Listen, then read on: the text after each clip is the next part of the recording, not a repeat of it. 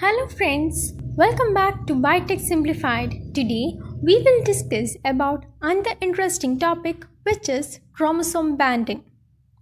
So chromosome banding simply means that the chromosome is present in the form of bands. So how come these bands are formed? When we use a particular staining technique, we get them in the form of bands.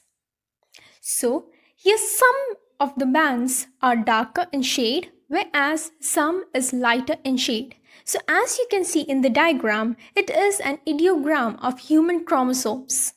So you can see that some portions of the chromosome is dark in color whereas some portions are light in color. So this alternating light and dark coloring of the chromosome is known as chromosome banding. And this technique is due to the stains we use. So why is chromosome banding an important technique? This is an important technique because through chromosome banding we can identify abnormalities such as chromosome breakage, loss, duplication as well as translocations. So what is a band? So a band is a part of a chromosome that can be clearly distinguished from its adjacent segments by the presence of dark or light with various banding methods. So, such a part of chromosome is known as one band. So, a banding technique is classified based on two methods that is based on GC and AT rich regions and also based on the constitutive heterochromatin region. So these are the two techniques in which a banding is classified. Now let us discuss about the types of chromosome banding. The four common types of chromosome banding are G banding, R banding, Q banding and C banding. Apart from these four, there are other bandings like N banding. But these four are the most common types of chromosome banding. And now let us discuss each type of banding separately. First, the G banding. The G banding is the most common and basic type of banding and it is done first by treating it with trypsin, then with a Giemsa stain.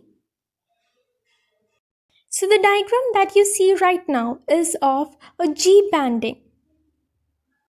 So when we discuss the staining pattern in G banding, the AT rich regions are more darkly stained. That is, the Giemsa stain is more in AT rich region, whereas in GC, that is glycine cytosine region is lessly stained.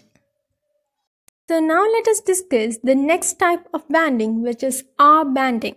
So in this banding, it is first heated and then stained with Giemsa stain. The diagram that you see right now is of R banding and in the case of R banding, it is a reverse of G banding and this is because the GC region that is glycine cytosine region is darkly stained whereas the adenine thymine region is denatured by heat. So the next type of banding is C banding. So from the word C itself we can understand it is staining of the centromere. So here the centromere is stained. So it is done by first treating it with an acid and then followed by an alkaline prior to the G banding. So this diagram shows C banding. So as you can see in the diagram clearly, it goes and stains the centromere region. So the last banding that we are going to discuss is Q banding. So in this banding, it is first treated with a stain which is quinacrine and then it gave rise to a fluorescent band and this is then viewed under a fluorescent microscope. So here this diagram shows a Q banding and in the case of a Q banding, the stain that is used is quinacridone and it gave rise to a fluorescent bands. So as you can see in the diagram, clearly it is fluorescence color. So I hope the concept of chromosome banding is clear. For more such videos, do subscribe to our channel Biotech Simplified.